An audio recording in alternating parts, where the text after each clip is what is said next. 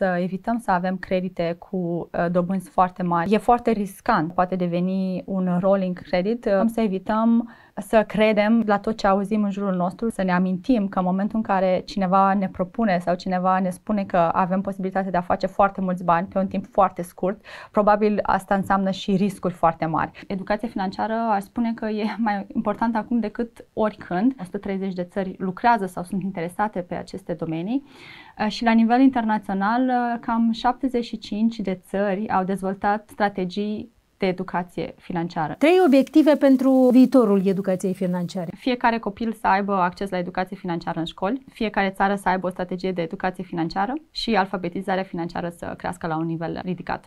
Ce procent v-ar mulțumi? 100%. Bianca, reprezentați Organizația pentru Cooperare și Dezvoltare Economică, OCDE pe scurt.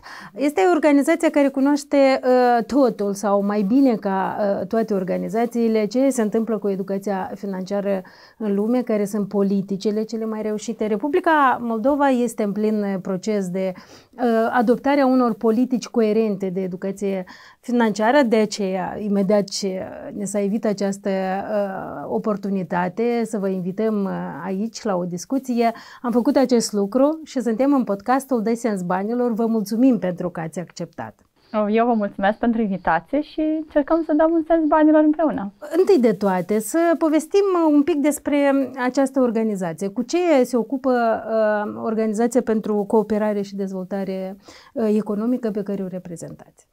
Organizația se ocupă cu foarte multe lucruri. Ne ocupăm cu uh, dezvoltarea de politici pe un, uh, la un nivel uh, internațional pe multe tematici, printre care și tematici legate de educație financiară și protecția consumatorilor în sistemul financiar. Uh, noi uh, uh, avem, să spunem, la OCDE, suntem casa a două Uh, rețele internaționale care sunt uh, importante pentru protecția consumatorilor. Uh, pe de o parte avem um, grupul G20 OCDE de protecție a consumatorilor pe sistemul financiar, iar pe cealaltă parte avem o rețea pe educație financiară, focusată pe educație financiară, care se cheamă International Network on Financial Education, pe scurt INFE, Uh, iar această uh, rețea este compusă din uh, mai mult de 130 de țări și economii care lucrează pe aceste tematici de educație financiară și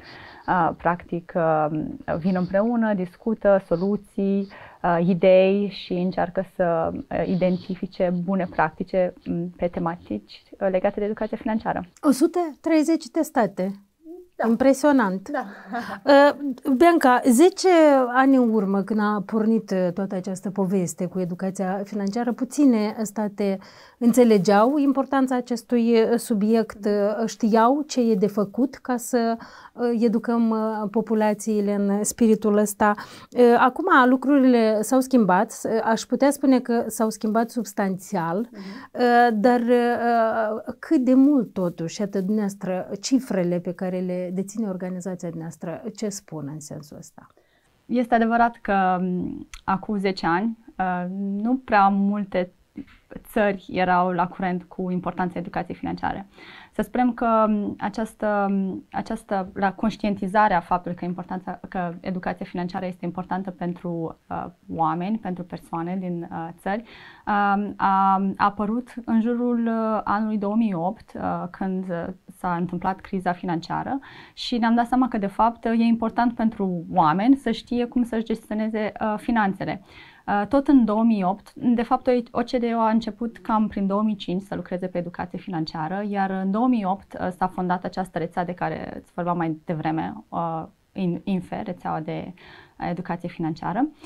Și de atunci foarte multe lucruri s-au schimbat. La momentul de față, după cum am menționat mai devreme, cam 130 de țări lucrează sau sunt interesate pe aceste domenii și la nivel internațional, cam 75 de țări au dezvoltat strategii de educație financiară, strategii naționale de educație financiară. Ca să-ți dau o idee de ce se întâmplă în Uniunea Europeană, de exemplu, avem la acest, la acest moment 23 de țări din Uniunea Europeană care au și dezvoltat o strategie națională de educație financiară, iar cele care încă nu au această strategie națională sunt în faza de dezvoltare a unei strategii de educație financiară. Cu toate acestea, din păcate, nivelul de, educa- de, nivelul de alfabetizare financiară la nivel, național, la nivel global a rămas foarte limitat. Noi colectăm date pe alfabetizare financiară regular la cam la 3 ani și vedem că de fapt nivelul rămâne limitat și asta este din cauza faptului că sistemul financiar și produsele financiare și toate lucrurile evoluează foarte rapid, deci e foarte greu și pentru cetățeni și pentru oameni să rămână foarte informați cu tot ce se, se, se cu tot ce se întâmplă și să-și up, up, update, nu? să-și uh, uh, întrețină aceste skill-uri de, de educație financiară. Deci uh, e nevoie să continuăm eforturile și să uh, creștem eforturile de a încuraja oamenii să învețe lucruri uh, legate de educație financiară într-o manieră continuată.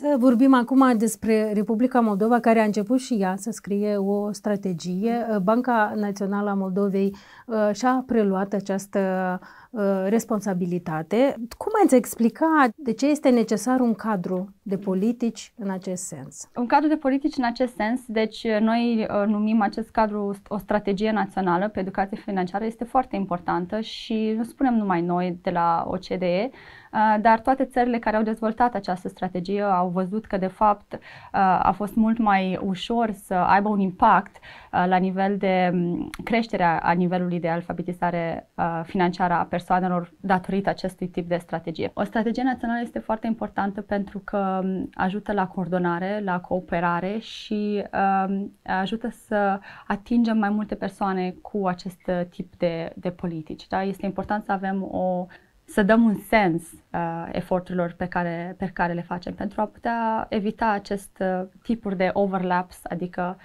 lucruri care se suprapun, care poate sunt unde, unde putem, de exemplu, avea, avea eforturi care se focusează pe un anumit grup țintă în loc de alte, grup țintă, uh, uh, alte grupuri țintă.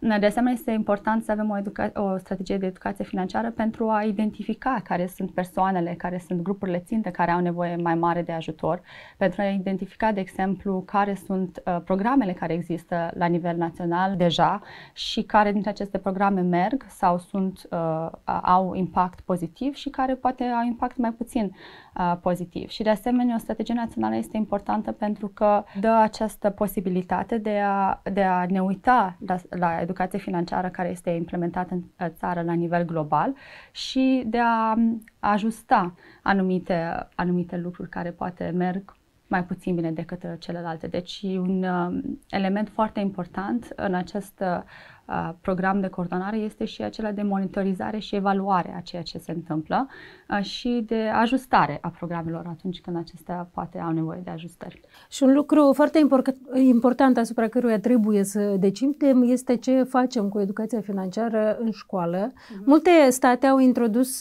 acest, această disciplină în curiculumul școlar, dar s-au fă, s-a făcut după diferite modele, opțional, neopțional, mm-hmm. obligatoriu care ar fi modelul din ce ați văzut uh, în statele lumii? Care ar fi modelul care s-ar potrivi Republicii Moldova? Este adevărat, educația financiară în școli este foarte importantă. Este foarte importantă pentru că în primul rând, uh, noi credem că uh, educația financiară trebuie să înceapă cât mai repede, cât de, t- de tineri. Um, am văzut, prin studiile care s-au făcut, am văzut că, de fapt, um, comportamentele financiare se dezvoltă deja de la o vârstă foarte fragedă, de exemplu, de la vârsta de șapte ani chiar. Deci e important ca educația financiară să înceapă cât mai repede. Uh, și e important să înceapă în școli, pentru că în școlile oferă să spunem, un uh, level playing field, adică toți elevii care sunt în școli au acces la acest uh, tip de educație. Um, și uh, e important pentru că există și familii, de exemplu, unde părinții ar putea să nu fie uh, într-o, să nu fie educați financiar ei și să nu poată da aceste informații copiilor. Deci uh, școala poate, uh, uh, poate fie acest level playing field unde copiii au acele, ace, aceeași uh, tip de oportunități în ceea ce privește educația financiară. Uh, iar uh, cu privire la întrebarea care este model, model pentru Republica Moldova, nu știu dacă pot da acest răspuns, pentru că fiecare țară trebuie să vadă ce funcționează la nivel național. Dar ce am văzut noi este că e foarte important uh, să existe o colaborare între autoritățile financiare, de exemplu uh, BNM uh, și alte organizații care lucrează pe aceste tematici și Ministerul Educației. Asta este foarte important pentru integrarea educației financiare în, uh, în sistemul uh, educațional. Uh, și în termen, să spunem, de buni de bune practici, uh, ce funcționează. Normal, au fost multe studii care au analizat aceste uh, introducerea educației financiare în, sistem, în sistemul școlar și am văzut că, de fapt, uh, e important ca educația financiară, dacă e posibil, să fie integrată ca nivel uh, obligatoriu, uh, nu opțional, uh, și poate fi integrată ori ca standalone subject, adică ca un, uh, adică un subiect uh, per se, um, de educație financiară, ori să fie integrată cross-curricular, adică în mai multe subiecte, deci în matematică, în civică, în, uh, alte, în istorie, în uh, subiecte în care uh, se poate integra cross-curricular, dar important este să fie obligatorii, pentru că în acel moment educația financiară vine, trebuie, trebuie, trebuie predată. Uh, și un alt element important este acela de a avea o continuitate, deci uh, de a avea o continuitate în sensul în care putem începe la o vârstă, la o anumită vârstă, uh, dar um, s-ar trebui să se continue pe mai mult timp, nu? Deci într-un an, doi, trei, ca să se poată, se, se poată prelua aceste concepte de educație financiară și cu timpul ele pot deveni mai uh, dificile, mai complicate și atunci copiii își dezvoltă aceste skill-uri, aceste atitudini și uh, comportamente care sunt foarte importante. Concluzionând, aș zice, uh, fiecare țară își alege modelul, funcționează totul și atunci când e obligatoriu, Ă, și funcționează când există o colaborare foarte bună între instituțiile care se ocupă de acest lucru. Cum privește organizația noastră care e bazată la Paris, mhm. cum privește uh, uh, progresele înregistrate până acum de Republica Moldova în promovarea acestui subiect? Noi suntem foarte fericiți, adică vrem să felicităm Moldova pentru că um, noi credem că ce s-a întâmplat în ultimii ani este foarte important și am văzut că, de fapt, organiza- organizații, instituțiile, cum, precum Banca Națională a Moldovei, au dat foarte mare importanță educației financiare, ce este, ce, ce, ceea ce este foarte important și au luat un rol de leadership uh, de a crea un grup de lucru uh, pe educație financiară cu mai multe instituții din uh, Republica Moldova uh, și uh, au decis să lucreze împreună pe acest proiect de, de strategie națională pe educație financiară. Iar acest acesta este un pas foarte important și chiar ieri am avut discuții cu uh, grupul de lucru uh, și cu Banca Națională care a, a, să spunem, a chemat acest grup de lucru pentru o întâlnire cu noi. Și am fost foarte impresionați de uh, progresele și de ideile și de entuziasmul pe care uh, instituțiile pe care le-am întâlnit uh, l-au arătat. Și credem că acest lucru este foarte important și foarte pozitiv. Și fără acest leadership și acest entuziasm uh, cred că ar fi foarte greu să, să, să, să, aib, să se existe problem, uh, progrese pe educație financiară. Deci e un pas foarte important faptul că Banca Națională a luat acest leadership uh, și uh, commitment, să spunem, pentru a dezvolta această strategie națională. Să ne uităm un pic la actualitate, să ne uităm un pic în piețe. Crizele din ultima vreme, Bianca, au uh, ridicat uh, și în fața guvernelor și în fața uh, cetățenilor multiple provocări.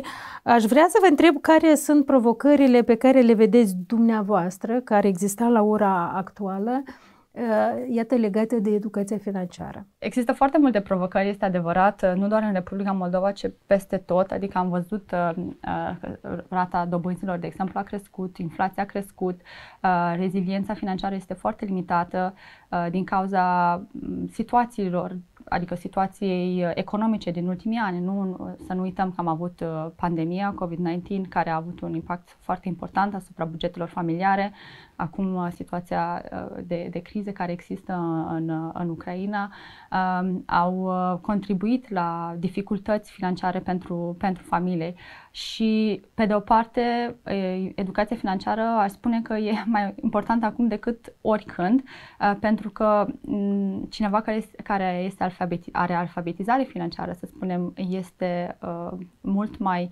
um, obișnuit să-și gestioneze în manieră responsabilă uh, bugetul.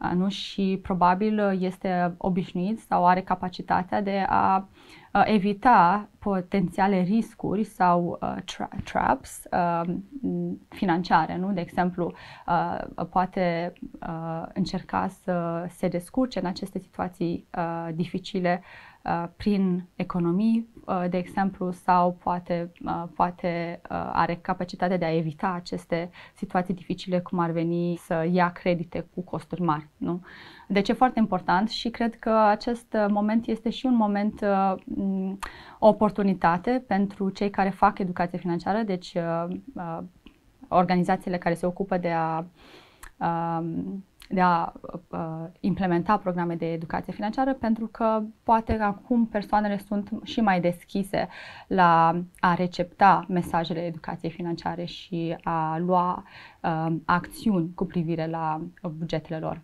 Revenind la întrebarea despre uh, vârstă, uh, copiii sunt expuși acum unui sistem extrem de, uh, cum să zic, consumerist. Trebuie să-și dea seama de foarte devreme care e valoarea banilor, trebuie să înțeleagă cum, să, să înțeleagă aceste oferte financiare din piață.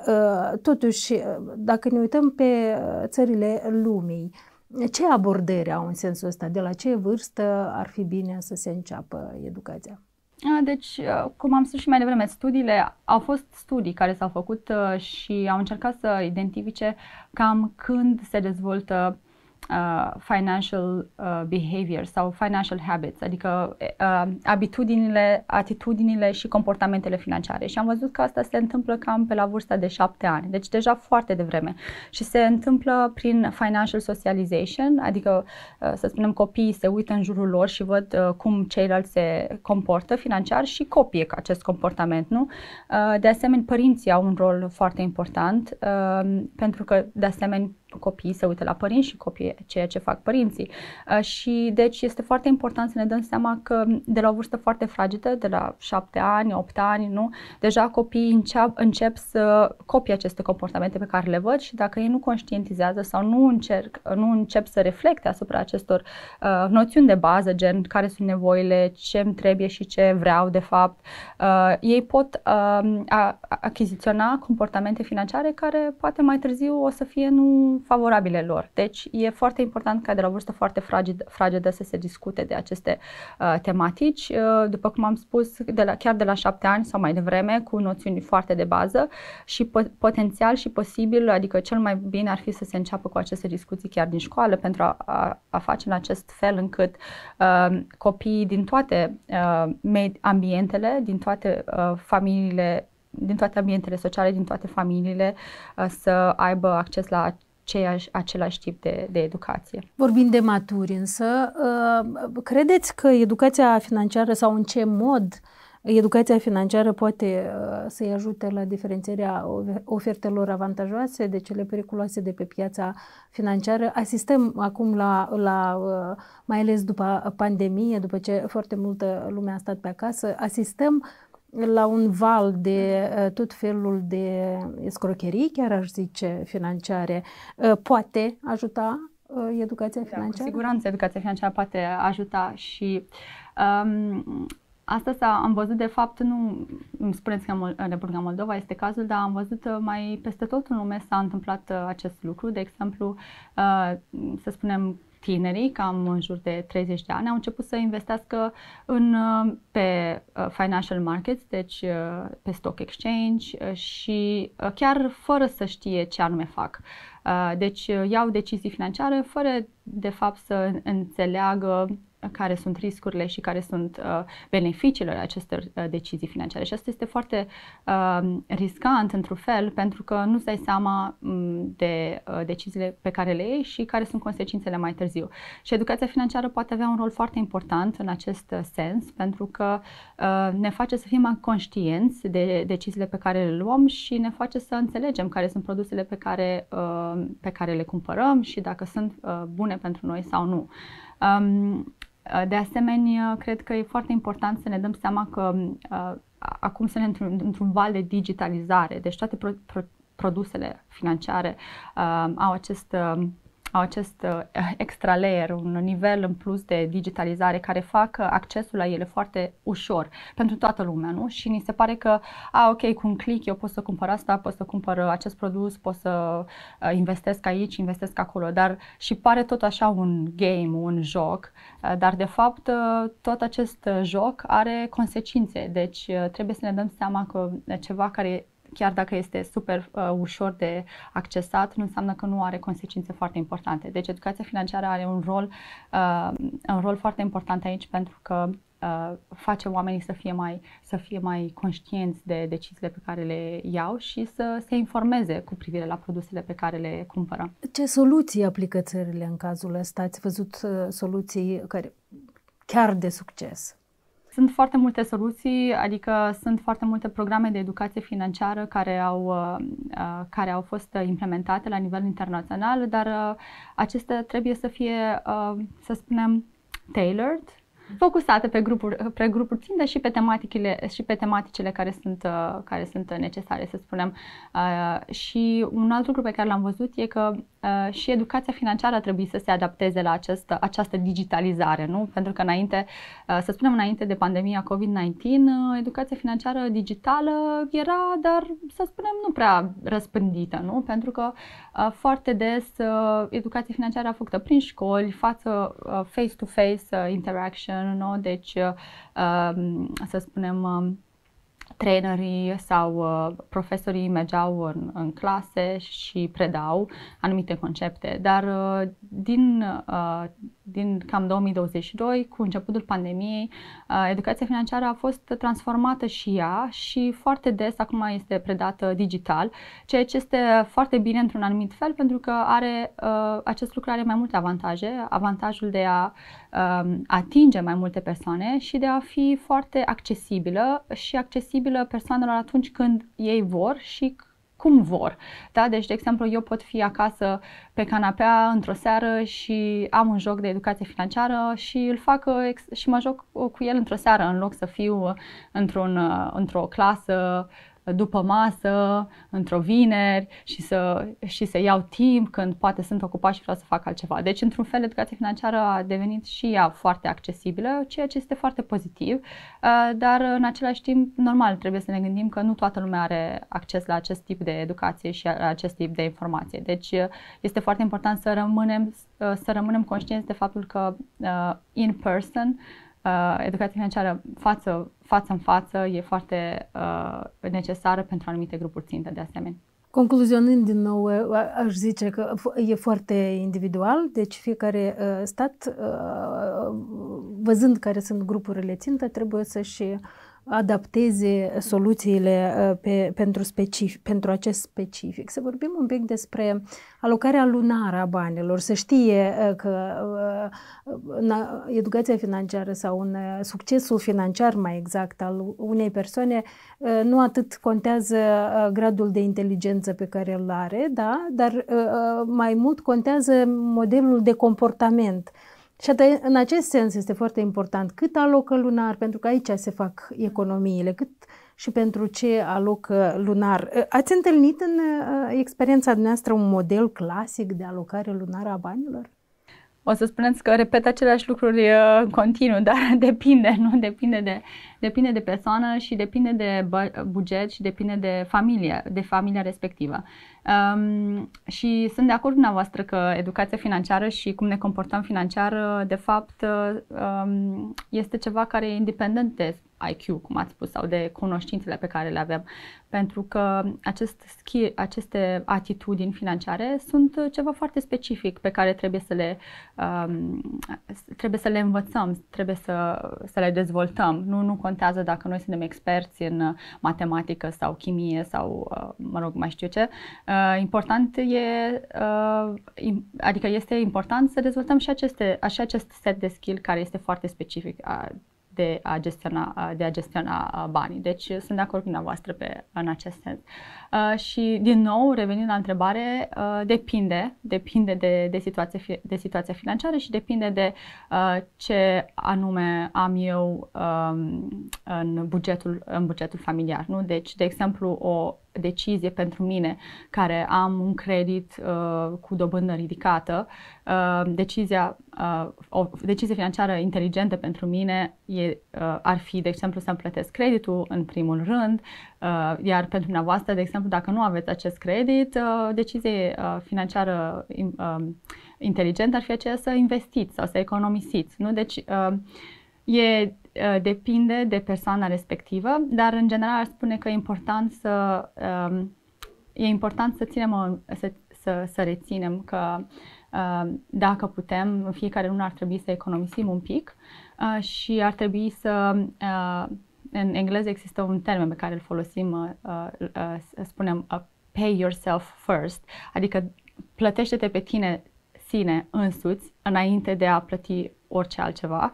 Uh, deci pune deoparte un pic, uh, un pic din bănuții pe care îi faci în fiecare lună ca să poți să îți, uh, să-ți construiești această pernă de siguranță financiară care te poate ajuta în viitor.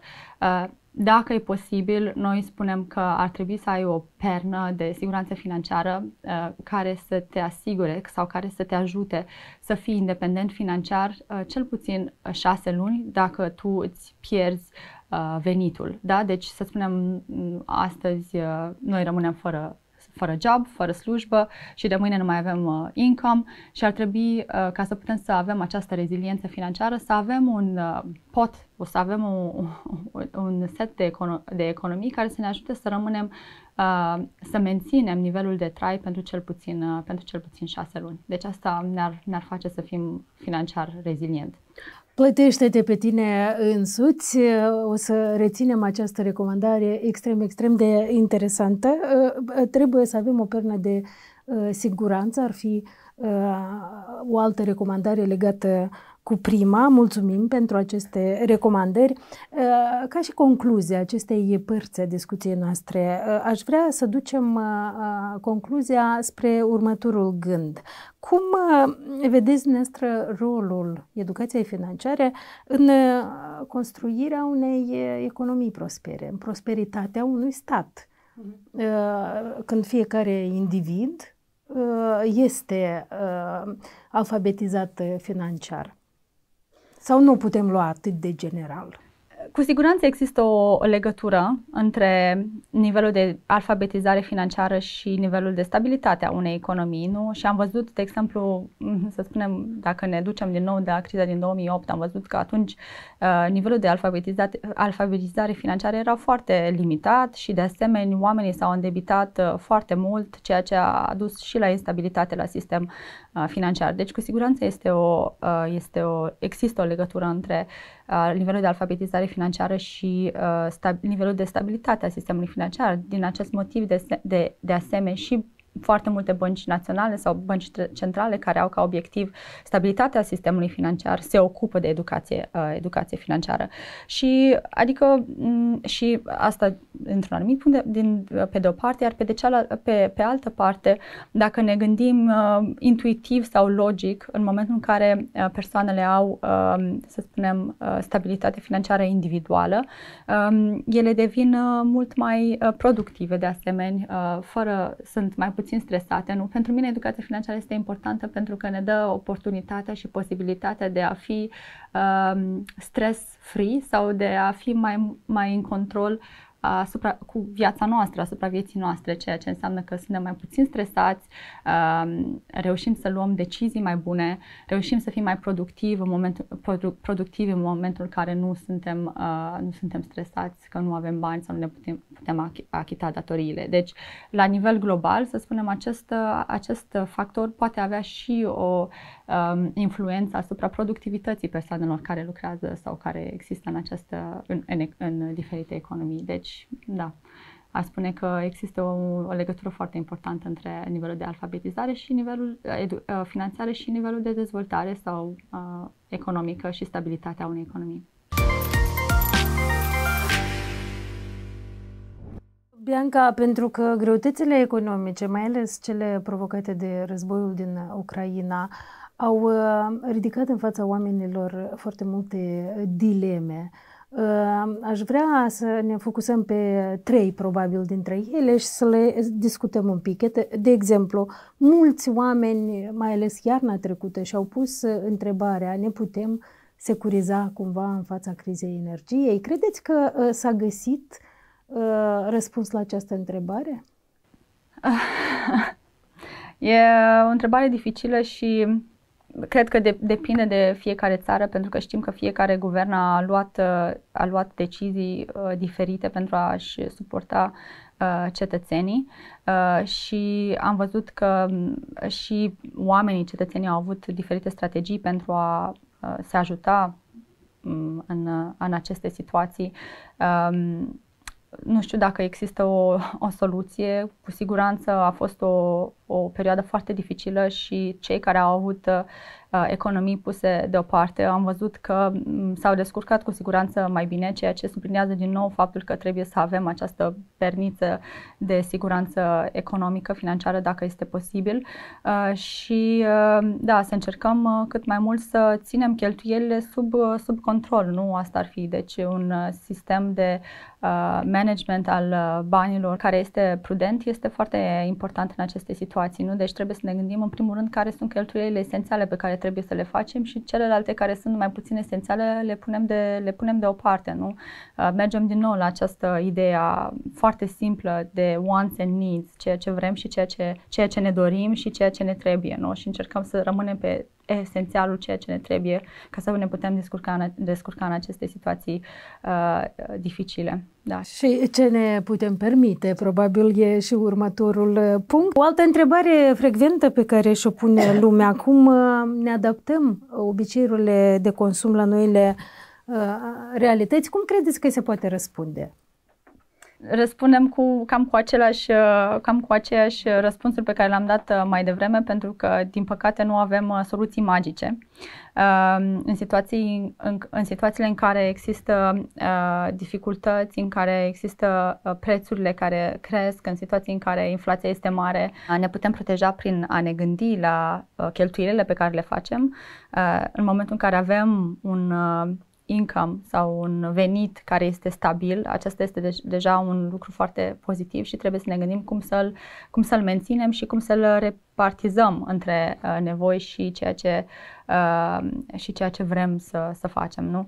Uh, și din nou uh, revenim la ideea inițială pe care am spus-o, aceea de a încerca chiar și în situații foarte dificile să punem de deoparte o mică sumă de bani pe care să economisim în fiecare, uh, în fiecare lună. De asemenea, trebuie să, ne, să încercăm să evităm, uh, să evităm să avem credite cu uh, dobânzi foarte mari care pot, uh, de fapt, să aibă un uh, uh, impact foarte negativ asupra noastră în momentul în care, să spunem, creditele se acumulează unele peste, alt, peste altele. Nu? Există tentația aceea de a, a, de a merge și de a lua credite uh, pe scurtă durată în momentul în care avem dificultăți financiare. Nu? Asta poate fi uh, ok, o soluție în care există uh, o necesitate foarte, foarte uh, acută, dar uh, e foarte ris- riscant, nu? Pentru că în momentul în care avem un credit cu o dobândă foarte mare, uh, din păcate acesta poate deveni un rolling credit uh, care, care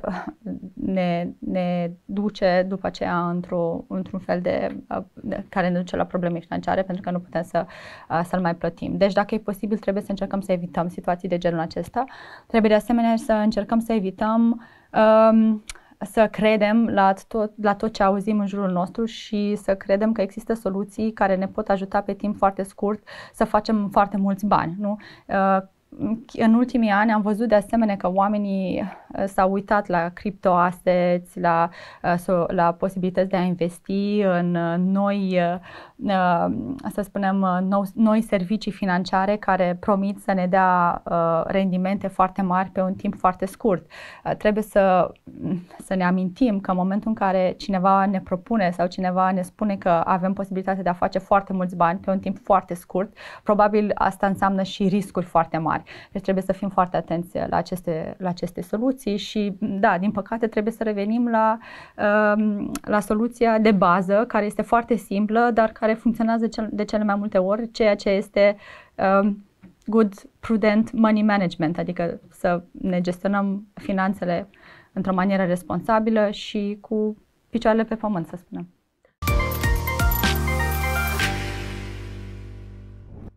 Pe final, eh, Bianca, eh, vă propun câteva întrebări. Cu, eh, sunt scurte și cu răspunsuri scurte, altfel spus, rubrica despre bani pe scurt. O definiție scurtă a educației financiare, cum ar suna? Ce e educația financiară? Educația financiară este un proces care uh, ajută consumatorii și investitorii să achiziționeze Um, să achiziționeze comportamente care îi ajută să ia decizii, prin să ia decizii care să le îmbunătățească bunăstarea financiară. Cea mai mare realizare a acestui deceniu de educație financiară, e un pic mai mult de un deceniu, cea mai mare realizare? Mm, faptul că a devenit o prioritate pentru mai mult de 100 de țări în întreaga lume. Trei obiective pentru uh, viitorul educației financiare. Cum le-ați vedea? Fiecare copil să aibă acces la educație financiară în școli, fiecare țară să aibă o strategie de educație financiară și alfabetizarea financiară să crească la un nivel uh, ridicat. Cea mai mare provocare pentru uh, următoarea perioadă? Faptul că um, există foarte multe um, priorități care se suprapun educației financiare și educația financiară trebuie să rămână o prioritate la uh, nivel uh, național și internațional pentru că este foarte important pentru, stabili, pentru sistem și pentru, pentru oameni în general. Câți copii au în acest moment uh, acces la educație financiară în lume? Nu putem să, nu am răspuns. Milioane? Milioane, cu siguranță, dar uh, nu destul de mulți. Uh, ce procent v-ar mulțumi? 100%. Perfect. Câți copii participă anual la Global Money Week? Depinde de mm, an. Până acum, în manieră cumulată, am avut mai mult de 50 de milioane de copii care au participat la Global Money Week, care e destul de bine. De la ce vârstă e bine să înceapă educația financiară? Cât mai repede, chiar de la șapte ani. La ce vârstă să înceteze? În general, e un subiect pentru vârstnici, oare? Educația financiară pentru vârstnici e foarte importantă, mai ales uh, pentru că știm că cei care sunt mai în vârstă au nivele de alfabetizare financiară mai joase decât uh, restul populației, sunt mai vulnerabili la escrocherii și la fraude și au mai multe dificultăți uh, să învețe. Deci, cu siguranță, trebuie să-i prioritizăm pe cei care au vârste mai avansate și să îi ajutăm să evite sărăcii la bătrânețe. O geografie a țărilor care au performat în acești 10 ani uh, cu educația financiară sau, nu știu, o clasificare ne puteți da? Mm, nu avem o clasificare. Noi uh, colectăm date uh, regu- regular. Uh, noi, noi colectăm date regulat la 3 ani pe educație financiară sau alfabetizare financiară, iar clasamentul uh, se mișcă. Um, dar am văzut că ace, acele țări unde educația financiară a fost prioritiza, prioritizată, de, deci am văzut că în acea, acele țări unde educația financiară a fost prioritizată și unde există educa, strategii de educație uh, financiară la nivel național, uh, nivelul de alfabetizare este mai ridicat decât în celelalte țări. Deci există o corelare între um, strategii și nivelul de alfabetizare. Și un model uh, perfect, un model de succes, uh, cum ar arăta? Din ce componente s-ar compune? Uh, nu există un model uh, pe care trebuie să-l folosim sau pe care trebuie să-l urmăm, dar cu siguranță faptul că um, la nivel național se coordonează și se colaborează între instituții care, uh, care fac parte din uh, public, privat și sectorul civic sau non-governmental organizations, NGO, este foarte important pentru că nici organizație poate, nu, poate, um, nu poate face față acestei um, challenge uh, singură, nu? Deci trebuie să avem colaborare la nivel uh, național și internațional. Și ce sfat ai avea pentru Republica Moldova, pentru Banca Națională care uh, a procedat la elaborarea strategiei? Aș spune să continue pe această, să, să continue pe această stradă pentru că este foarte importantă strada de a dezvolta o strategie națională pe educație financiară și să continue cu acest entuziasm pentru educație financiară pentru că de asemenea este foarte important și cu leadership-ul pe care Banca Națională l-a arătat. Banca Națională e, cred, un model pentru alte organizații care lucrează pe educație financiară în Republica Moldova și noi suntem acolo să îi sprijinim și să lucrăm împreună cu Banca Națională ales și suntem uh, foarte fericiți uh, că ei fac parte din acest uh, proiect de educație financiară la nivel regional cu noi. Bianca Isaincu, mulțumim foarte mult pentru participarea la podcastul de Sens Banilor. Eu vă mulțumesc și a fost o plăcere.